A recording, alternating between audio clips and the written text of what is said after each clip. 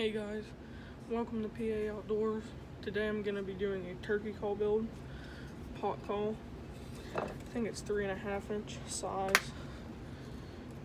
I'm using black aluminum for the surface and glass for the soundboard. I'm going to do a quick measurement. Three and a half inch diameter for this black slate. So, first thing you want to do, uh, I think I got this from Shipley's Outdoors. I got it quite a bit ago, but I'm actually making this for a friend. Um, so anyways, first thing you want to do when you first get them, you got to sand them. So I'm starting off with sand. Probably not doing 220 right now. We're gonna start off with 120. 180, yeah, 180. And, uh, just want to sand it till it becomes smooth to your liking.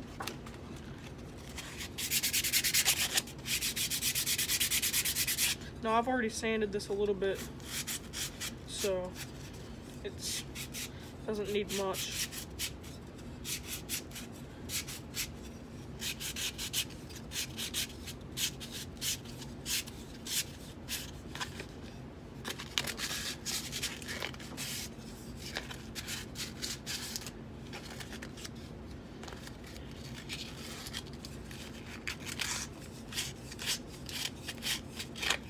I forget what kind of wood this is called.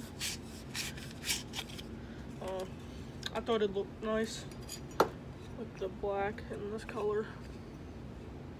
So, yeah, like I said, I've already pre-sanded this, so it doesn't didn't need much. Okay, so next thing you want to do is you want to stain it, but you don't want to use oil base because if any oil gets on this surface here, it'll ruin it. So you gotta use water-based stuff. I have to look and see if I have anything, any water-based stain. If not, I have something else that'll work. But I finally got a tripod. I got something that'll work for one. Um, yeah, I think last time I might have just used this stuff, pre-stain. Better than nothing, I guess. But if you really want it to turn out good, you'd use normal water-based stain.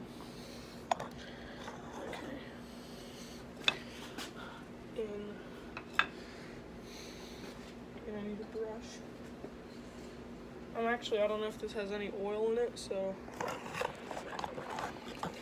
I'm gonna wash it with some Dawn.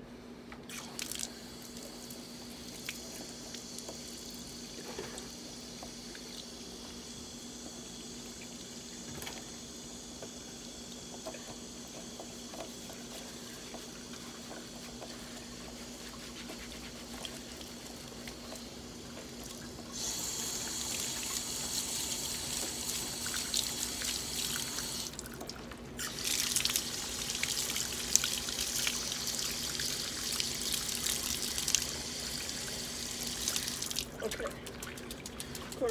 Out. I'm gonna go get a paper towel right here. Right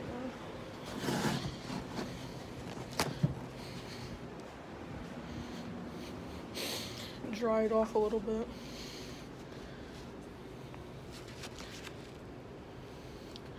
Okay. I'm gonna find a spot to set you guys for now.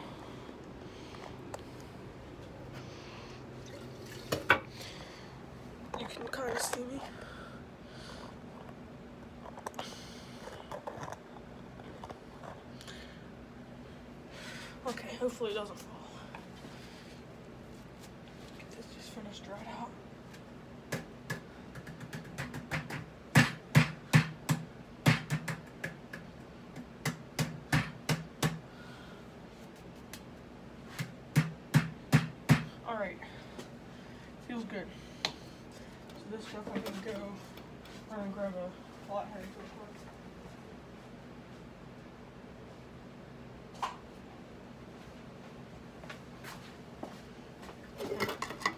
gonna open it.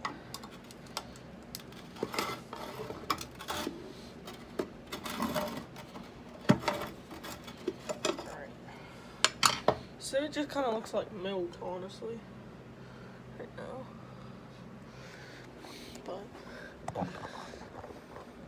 It just protects it a little bit more putting that on it. Okay. So make sure this is dry. Just gonna get a little bit. Rub it on.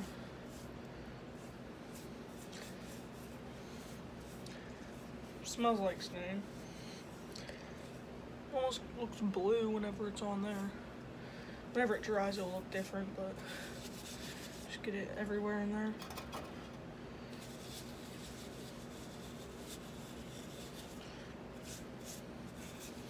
Okay. Alright, so I'm gonna cut right here because I'm gonna let that dry.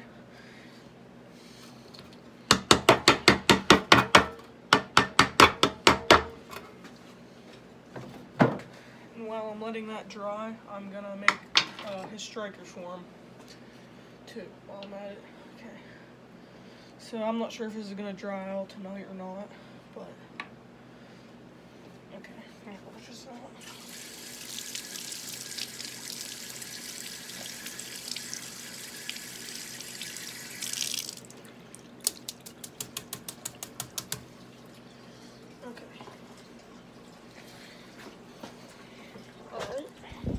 Just gonna dry off my hands real quick.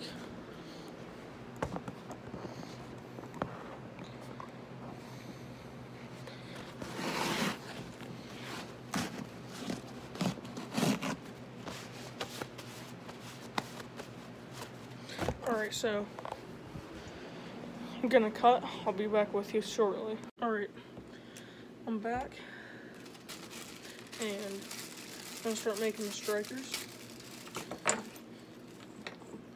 already measured the size that I want. It's seven and a half inches. I'm still not sure if I'm gonna go with this and I think I'm gonna go with that. Alright, so gonna get this glue I have right here. Put it on the end of the striker that's going in the topper.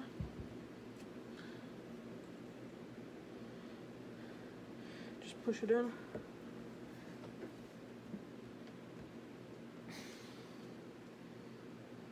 Alright, Want to sand down around the first part so it goes in easier.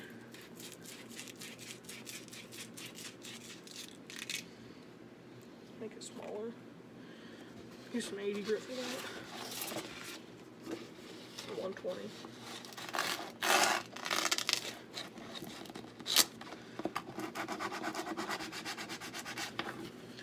Okay.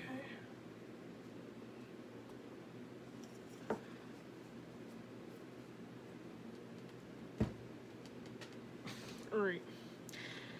I think I got it in as far as it'll go. I'm gonna put some glue around here just for extra security. That way I know it won't come out. It's stuck in there so well, I don't think it even need the glue, but just so it's uh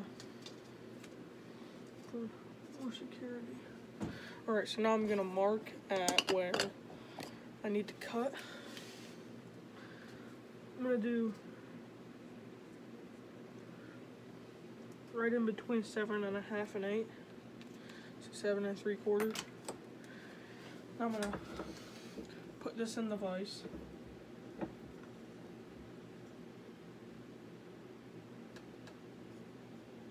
Alright, then I'm gonna get my hacksaw.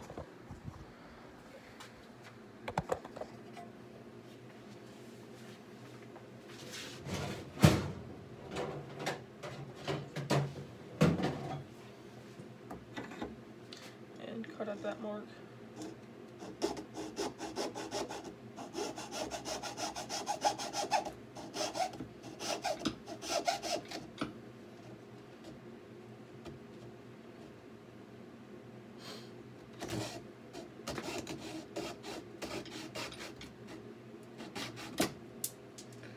got it.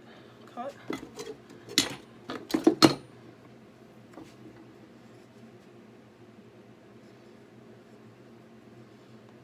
Make sure that's pushed in the whole way. Alright, it is.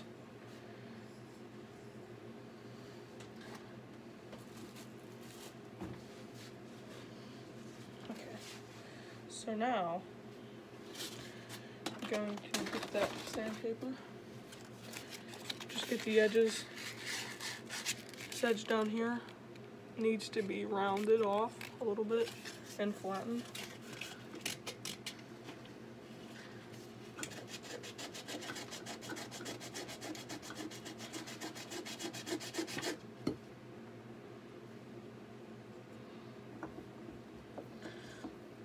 This in the vise so it's a little bit easier to sand.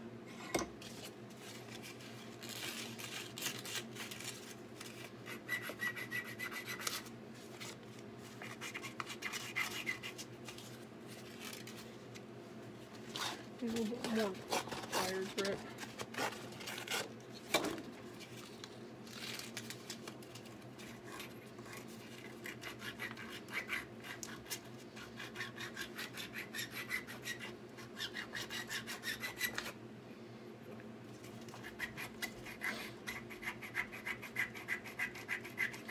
I'm not sure if that stain I had will take the whole time to dry. No. If I don't finish that call in this video, which I should, because if it takes more than one day, I'll just extend this video until Wednesday. Filming this on Tuesday. Then, okay, so that looks good. Gonna get it higher grit. Looks better.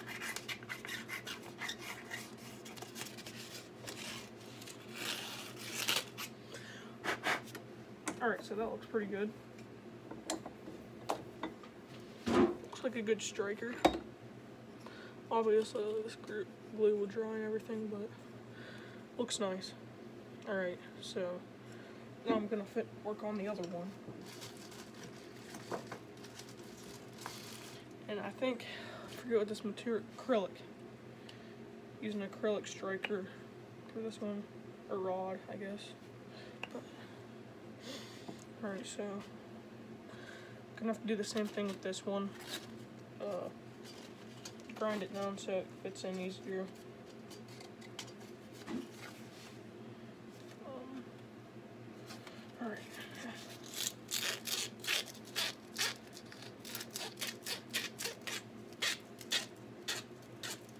I'm expect I'm hoping to do a lot of turkey videos this season because I'm gonna be able to hunt by myself. But definitely expect some turkey videos. Like if I kill one, maybe even a catch and cook. Yeah, I'll do catch and cook definitely.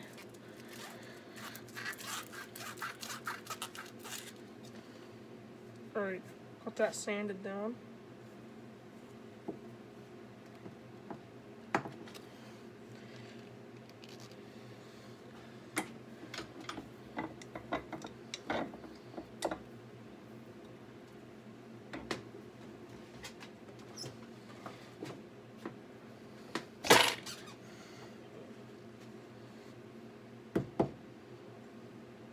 Right, kind of got that stuck in there. Just need to finish pushing it in. So actually, if it's that stuck in there, it probably won't come out. So I'll just put some glue around the seam. And alright. So, now, Gotta put that back on the glue so it doesn't dry out.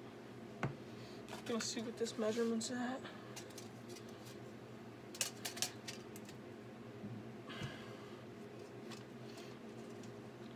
Alright, so I'm gonna mark it to cut seven.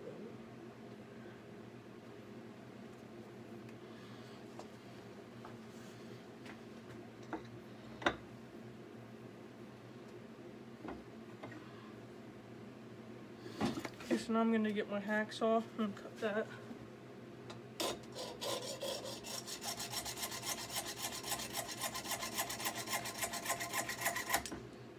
Alright, so that was pretty easy.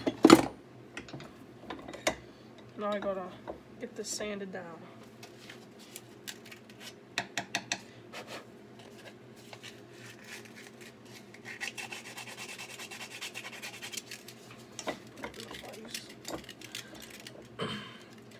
Some videos to do this summer.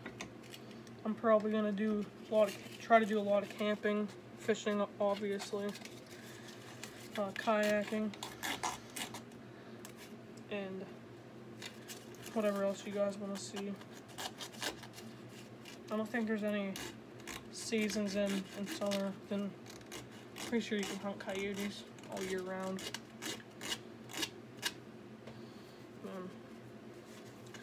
Might try to do a squirrel hunting video sometime before the season goes out. Maybe a squirrel catch and cook if I get one.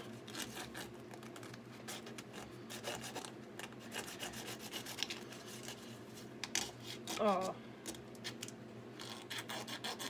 uh, pretty soon there should be a video of me flushing that raccoon I caught. I just haven't got to it yet. I've been doing other stuff. I was gonna do it this weekend, but I went somewhere. So, probably gonna film that video sometime this week. Uh, I'm gonna cut right now. because It's getting a little long. So, I'll see you back whenever I'm finished with this, and I'll update you on that call, see if it's dry. Alright guys, got the acrylic striker finished. Looks pretty nice. I'll test it out on my, my call in the video here really soon if the column drying doesn't get finished. So I'll walk over here. Yeah, that looks really nice. Uh, still feels wet. Yeah. Yeah, that will, if it stays that color, that'll be really nice. So, then I'm gonna run up, get my call, test out these strikers. Uh, I'm gonna cut. I'll be back with my call that I made. I used this fall season. That was before I even thought about doing the YouTube. So I'll get that down here and I'll show you some other strikers I made also in woodshop. Alright guys, I'm back. I got my call I made. I have a crystal surface and a copper soundboard. It sounds pretty good actually. And this is my two strikers I made with it. Uh, I'm gonna go ahead with this striker right now. I'm Trying not to do it too much because it's really loud. See if I can muffle it. Sounds pretty good. Now with this acrylic. It sounds more like a Jake yelp. Not as high pitched. Then this one I made in woodshop. It's pretty bad. It's not very long. Yeah. That's better than I've had it. I'm gonna try sanding down this real quick. Some high grit stuff.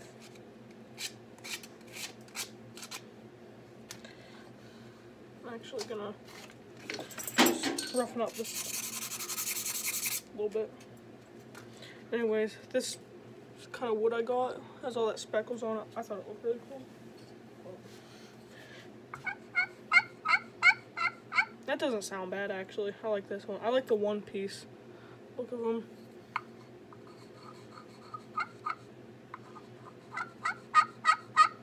Yeah, it sounds pretty good. Uh, I made this last year when I was in ninth grade for first year I was in woodshop, but I was gonna, it was Friday, so I was gonna pick it up on Monday because I still had a little bit more to do to it. But then the school got shut down in April, so I think it was April or March. So I had to wait that whole summer and everything. I don't have wood shop this year because I'm doing Votech, but one of my other buddies have it, and he saw this on the lathe and said he'd finish it for me and he got it back to me. I cut it. There's some blocks on the end from it being on the lathe, so I cut those off. And I got this all sanded up and everything. It was really squeaky at first, but now it actually sounds pretty good. You see it?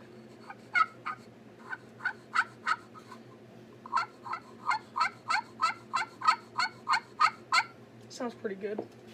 So now I'm gonna try these ones I made for, these are actually for the same person that uh, brought me back that striker. Sounds pretty good. That's this one I just made. And I am now trying the acrylic. Acrylic is just lower, I, apparently.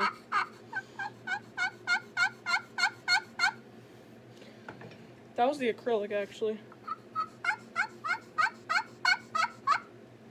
Yeah. It's, they all sound pretty good. Uh, my favorite kind of call to use is a pot call. That's just, I've called them it last season, or in fall whenever I went out hunting. I sat there and called for about an hour. Didn't think there was anything, so I got up and moved. And while I was walking down, it's starting to get, it wasn't dark. It was about an hour till shooting light. So, hold on, I'm gonna put this away. So I decided I was gonna get up and move, see if I could hear anything. And I realized, what if there's some that are coming to my call? So I started heading back there. I look over, the, there was a little ridge right here. Then there was a grassy flat a little, well, it's not really a field, it was like a 30 yard circle of just grass. It sounds like a food plot, but it wasn't. It was just a little patch that the sun was shining on. But, anyways, I looked up over the ridge. I saw a turkey head. So I crouched down. There's a big patch of pine trees to my right, so I went into the, that. There's the trail right there that the trucks and everything used to get down there.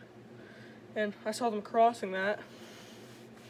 The only thing I could think of to do was either try to sneak up on them or what I did was I ran up to them, uh, spread them all out.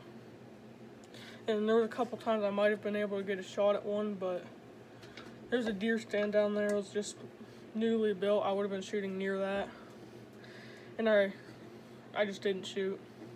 But anyways, uh, we went back the next morning early and they were just gobbling like crazy, hens clucking. The only thing we saw that morning, which we were sitting in the ground blind, which I don't, I don't, I'm not a huge fan of hunting out of ground blind for turkeys, but uh, there was two toms there, which would have been really cool to get in fall season, because not very many people get them. That's kind of like the trophy to get. But yeah.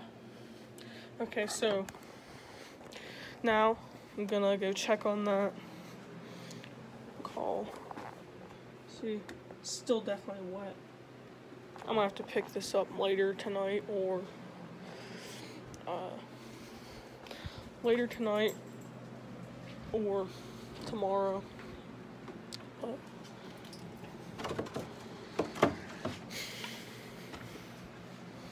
But, I have my dog down here with me,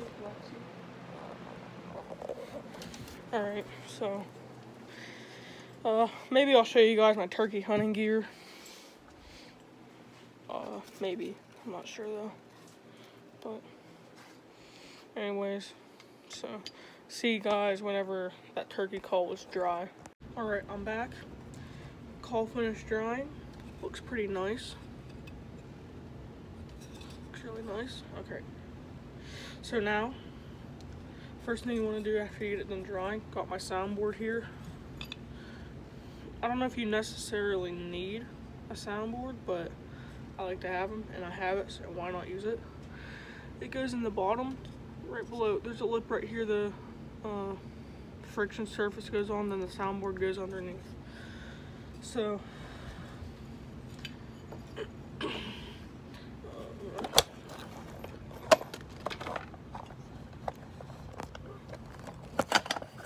you guys to see this.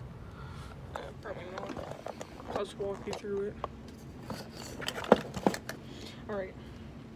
Anyway, you want to put glue around right here. I don't put any glue on this, but you get that centered up as much as possible. So I'm gonna, right now I'm putting the glue on. Just don't need much.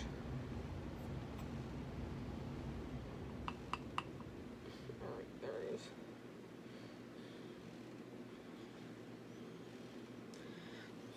That's all I'm using.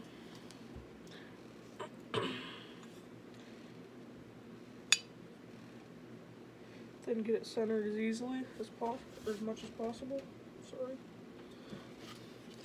Then get this clamp. Uh, you want to put it right where. Make sure it's centered.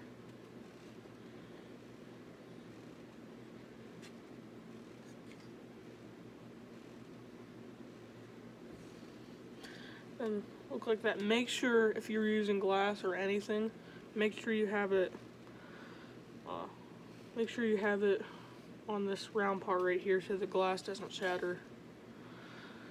You can see, oh, right there. Okay, so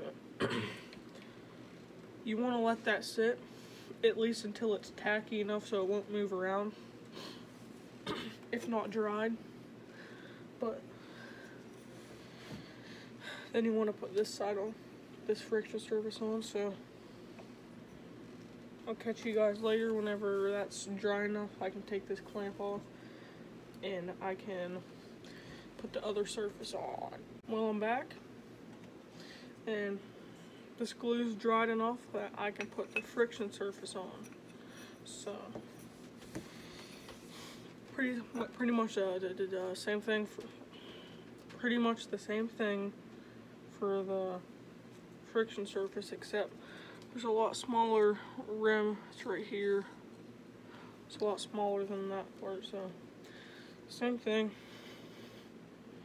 Just put a little just put a little bead of glue around the whole outside. Gonna make this one small Alright. Then this one, it should be about, you shouldn't have to center it at all because it should be pretty much centered already. So, I'm gonna put it on. And there it is. Just gonna, I don't need to do this, but I'm just gonna clamp this outside right here. You can see it's kind of halfway on the surface, halfway not, so after that's pretty much completely dry probably, it might even be tomorrow that I'll test it out for you so you can see how it um, how it sounds. Actually, it'll probably be tonight, later tonight, because I'm gonna give it to him tomorrow. So. anyway, see you in the next scene whenever I test out that call. And I will, that'll probably be it for this video after I test it. So see you in the next clip. Alright guys, glue is dried, so now let's test out this call. Uh, for making the friction surface, uh, I like to use the highest grit sandpaper I have, so I'm using 220. Um, I'm only doing just a small part of it, just a small area. Just right at the top there, you can kind of see it. Well, use this striker I made, see how it sounds.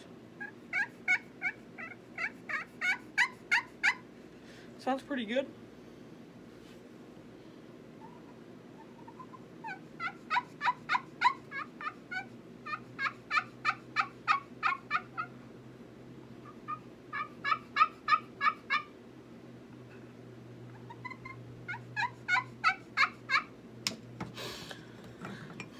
Now let's try with this striker.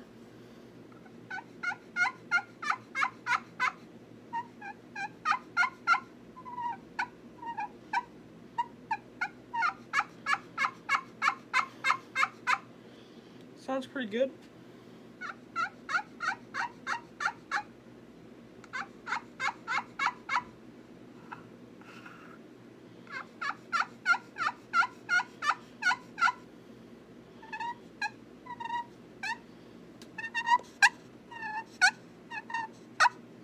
Kind of hard to get a purr on it. Uh, try to get the striker a little roughed up a little bit more. Maybe be easier with wood.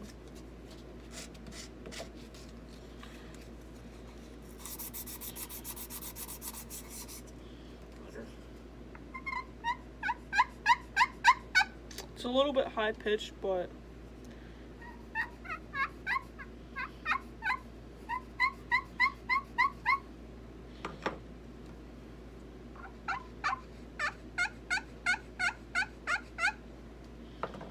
Yeah, I think just more high pitched. So, yeah. Alright, so thanks for watching. Uh, see you next time. Make sure you like the video, subscribe. Uh, thanks for watching PA Outdoors, and I'll see you next time.